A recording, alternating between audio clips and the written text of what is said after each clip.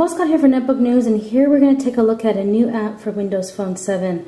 Uh, I've been back on Windows Phone for about a week now, and apps are something that I'm definitely missing. So hearing that Bing's come out with a Translate app is fantastic. So it does keyboard, camera, and voice. So you can actually download languages um, if you don't have an internet connection. So simplified Chinese, German, Italian, French, and Spanish. That's actually really great. Here's a history.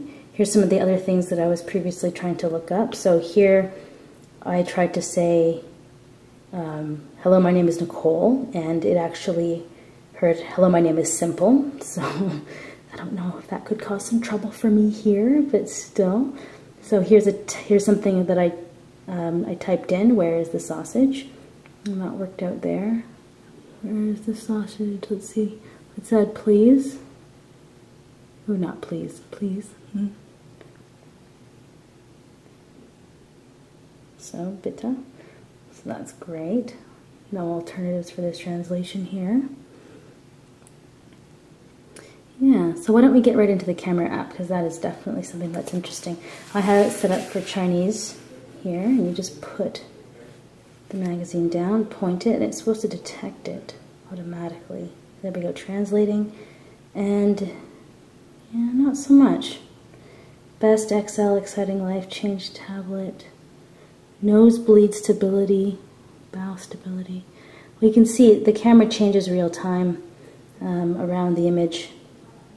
Not perfect, but, um, well, not really usable actually. But why don't we try little, something else here. Let's try changing this around to English to... You can see there's lots of choices. The downloaded languages were only a couple, but the languages you can actually use are full list here. But let's go back to German. Okay, let's see if I can do this one. English to German, translating. Alright, now I can't actually read German, sadly.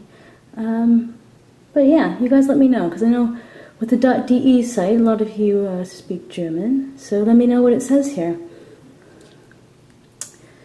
But yeah, I mean, uh, this is definitely, this is the first day that it's been launched. Uh, not super, I haven't, I haven't, I haven't had a lot of time to play around with it. So far, my initial tests kind of indicate that, well, it could use a lot of work. I love the idea initially, but um, this seems to work pretty good. So let's say, I love tablets and sometimes Windows Phone works.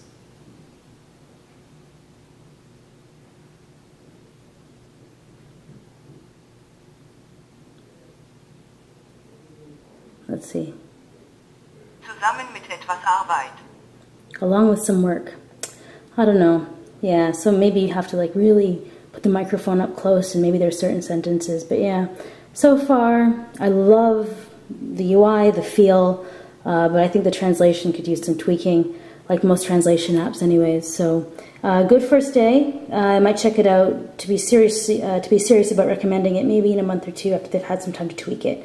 But for now, good first effort, guys, for bringing some apps onto uh, Windows Phone. I'm Nicole Scott for Netbook News, taking a quick look at the Translate app by Bing.